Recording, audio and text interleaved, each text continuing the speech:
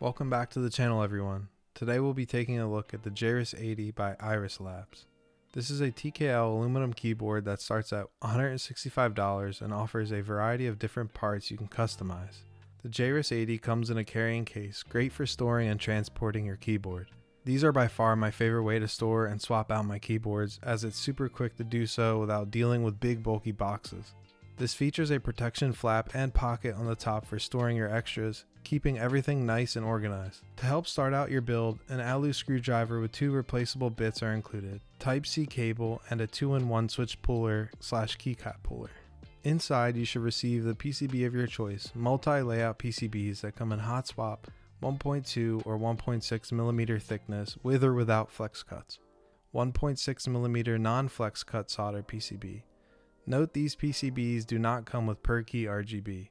If you would like per-key RGB, you would have to opt in for the 1.6mm hot swap ANSI PCB as shown here. The PCB I opted in for this is the 1.6mm non-flex cut solder PCB. These usually are my favorite as the thickness includes with no flex cuts should help eliminate hollowness or thin sounding builds, but will take away from that bouncy typing experience.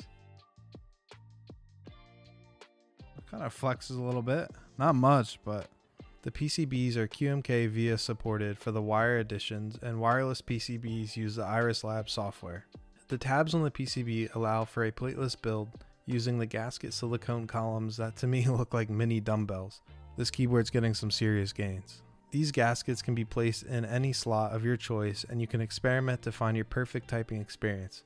I personally placed mine on the outside of each tab. This was a unique take that I have not yet experienced with gaskets and was a lot of fun trying to figure out what combinations I liked. If I should do a single. It's not like there's flex cuts on these anyway, so it's going to depend on this thing. yeah, I'm going to do two. But I'm going to do outside. Foam is also included, IXPE foam to go on the top of your PCB, Poron plate foam, and Poron case foam. This furthers the customization of sound signature that you can get from your Jris 80.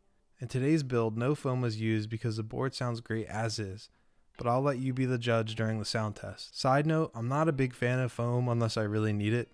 Sorry, kind of biased. It's very nice to see most options available for the Jris 80 with all types of materials and cut options.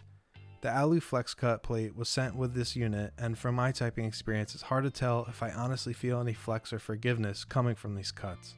Now for add-ons, you basically can customize everything on the board from top case, weights, knobs, and the strip you see on the top case. What really caught my eye is the Wave and Cloud titanium weights that look super cool. It would be nice to also see this option on the stainless steel strip for the top case. Some extras that were sent with my Jris 80 were the two inverted triangle weights with the PVD chroma. These triangle weights are mounted with magnets. Now onto the case itself. Wind key and wind keyless options are both available. The front height is 18mm and typing angle is 7.5. Both very popular front heights and typing angles in this hobby from what I've seen and also is my favorite. This gives a very comfortable height and typing angle for most end users. The layout supports a F13 key or to me an artisan holder. If you know, you know. You can opt in for a knob for the pause key as well in the add-ons. To me this looks a little off to the whole layout so I didn't try this out. The top case features a LED light strip that can be changed to any color or feature you'd like. You can't go wrong with a little RGB. This is also paired with a nice PVD stainless steel strip to help showcase some of that RGB and a simple clean design. These two accent pieces I think really helps give the Jris 80 its own style of design and helps it pop. The case itself is CNC'd from 6063 Alu and offers a ton of colors in eco and anodized that I'll show you on screen. This is a huge plus to giving you that personalized experience without being limited to three or four colors most keyboards offer. There is even dual colors if you're into that. The rectangle weight helps give a different look to the bottom case with its supported negative space and magnetic inverted triangle weight that I really like helps separating it from other keyboards. The Jris 80 features a brass internal weight to help increase density and reduce vibrations while typing. This weight also covers a battery compartment but covers screws for external weights so you will need to take this off if you want to swap them out. Jris 80 features the catchball latch system to easily assemble or disassemble the keyboard on the fly, giving a screwless appearance on the bottom of the keyboard.